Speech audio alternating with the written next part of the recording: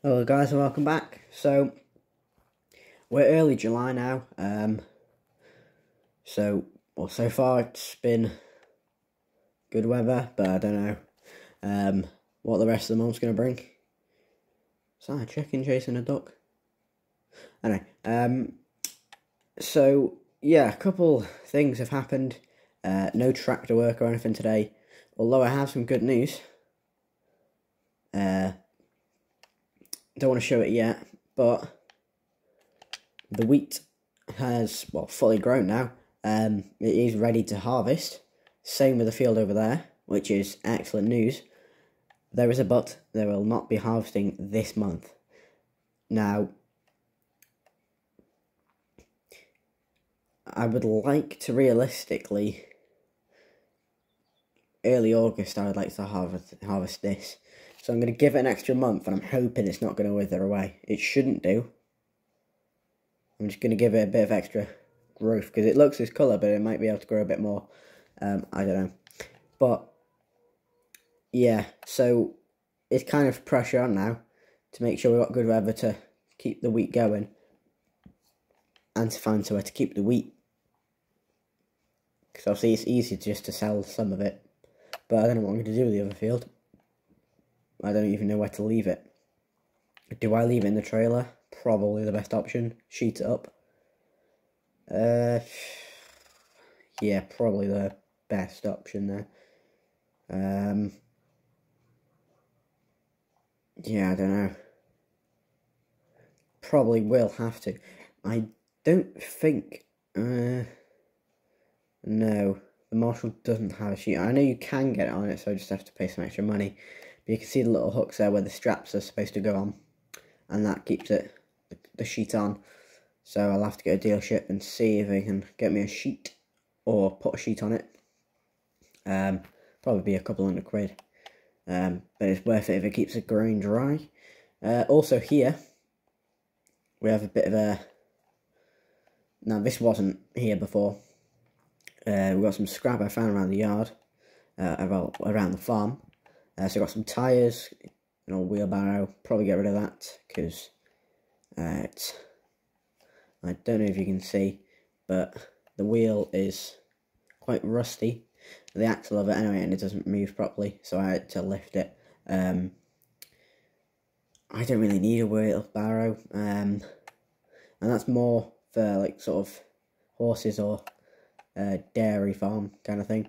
Uh, and we got a sack of, I think it's just old, um, small chicken feed bags kind of thing, that kind of size. Like the small ones you can carry on your shoulder. I think it's just a bunch of them rubbish in one. Um, so I can just go off. Uh, found this empty barrel, so that could be used potentially. Uh, found another pallet. Uh, this is actually a fuel barrel. Uh, that's just, I don't even know what's in that, I don't think it's empty. Uh, but this is normally used for water or fuel. Uh, you can get a little nozzle thing and that'll be for fuel. And then you've got a generator there. It is broken. Um, I have tried starting it but yeah. So uh, we'll probably have a skip uh, or something and we'll see what we can do with these. These two tyres could technically be used for the pit. So I'll keep these and the cone just in case we need to block anything off in the yard or whatever. Uh, fuel barrels will definitely stay. Pallet will probably stay. Uh, but the sack there the wheelbarrow and the generator definitely going. Um, uh, yeah, that's basically um, all I found for now. Just roaming edges and fields and stuff on the quad.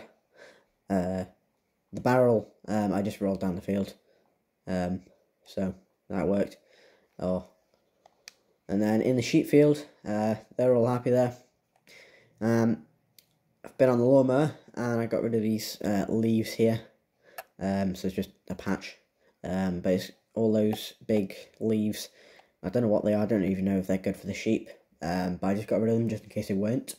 Good for the ground as well. Uh, so that's why there's a massive patch here. So I'll have to wait for that to regrow. I'm not sure why they are here. Uh, if they are bad for the sheep in the ground or the farm or I don't even know what they are really. Um, but the sheep don't tend to go up here so it doesn't matter about these. Uh, but don't even know what they are. Uh, but as long as the sheep don't, don't go near them, it should be fine. but you do tend to see the sheep go down here, and it looks a bit messy when you come into the farm. Just looks a bit, bit overgrown, uh, I guess.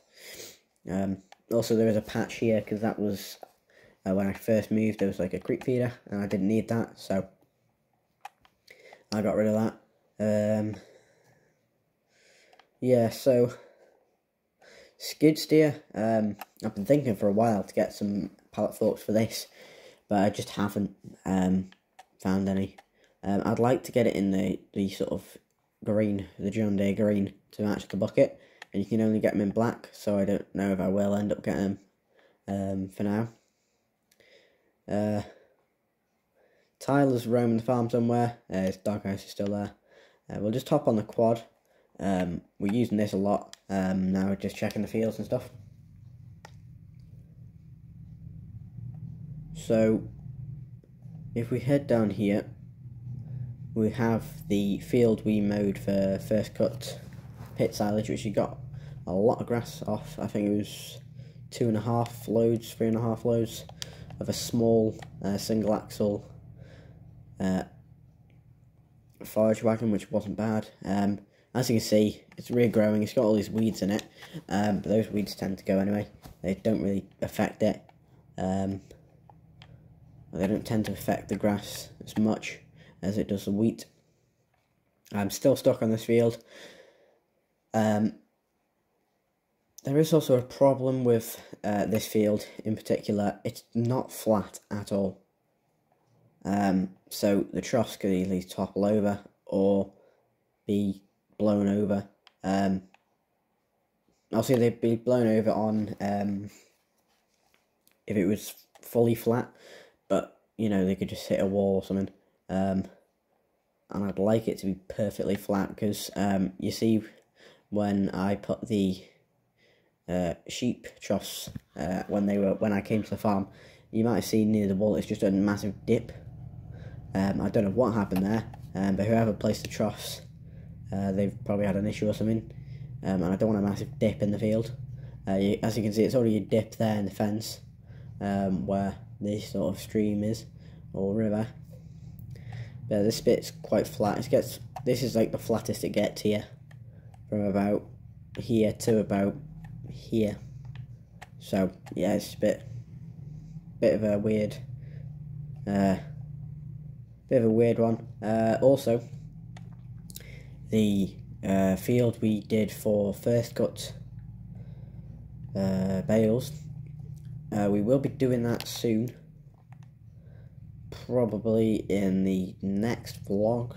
Uh, yeah, probably will. So, probably won't bore you to death with the sort of whole vlog of just being mowing and raking. I'm gonna do one vlog, but I'm gonna add some clips of each uh, thing we do. So wrapping, stuff like that. But as you can see, this is growing back a lot quicker than uh, that field. So obviously it was cut first, so it makes sense. But yeah, it's uh, hopefully in the next vlog, so in a couple days, we should be able to get uh, that field mowed, and then we'll just have to wait till August for third cut. Now, I have been thinking of uh, potentially getting uh, a uh, forage wagon like the one we borrowed, uh, but we've got the size trailer now, so we don't really need to. But it is a lot easier to get the grass in, so I think we'll just rent it for this year, have the size trailer as a backup, and then see where we go from there. Also up here uh, we have the uh, big field of grass that's just been left. It's a backup field, let's be honest. Um, not plan. I don't plan at all to use it. Uh, although it was used for two cuts or three cuts last year. It's too big of a field to do. You know, this is literally this whole field is like three cuts of what we get uh, off that small field, if not more. It's too much silage, really. So, yeah, maybe because I haven't been, uh, obviously I haven't really tried doing silage that much on this farm because we've been doing the, um, well, we didn't get the Keenan until about February, March time, I think it was. So we haven't had the Keenan long, so we haven't really had a need to feed the animals because by the time the Keenan came, uh, they were ready basically to go out to grass. It was just so bad weather, we just didn't. Um, I did let them out a bit early, to fair, because I thought the weather was going to be good, and then it ended up not being good. So, yeah. Um, also, we haven't got another Angus uh, cow yet. We will be soon, hopefully. Uh, obviously, you might have seen that the South Shire has been part of the blade just out of the way, just because it's not really needing to be used. Um, so there's no point in having it in the lower bit of the yard. Uh, we probably will use it for another farmer, hopefully, before uh, before October time, whether that be once or twice, doesn't matter, as long as it's been used. Uh, I would also like to go to the dealership and see if they have any telehandlers, um, or just to test out one or see if they know of another dealership in another nearby village that has a telehandler that they could potentially let me demo for like a day or two and see if it's easier to have the Massey because the Massey's still having problems so she's not being able to be used and I kind of need to move the wall uh, so that's why I was trying to talk about getting pallet forks for the skid steer because it'd be a nice little job for it to do but yeah, I don't I don't know if that'll happen. And maybe it could even feed uh, the sheep a bale, maybe. Uh, but yeah, probably not. Uh, so yeah, so it's hopefully gonna get a bit busier now uh, in the vlogs. Um, it's just gonna be a constant check up on the wheat and stuff. So yeah, that's it for this one. Bye for now.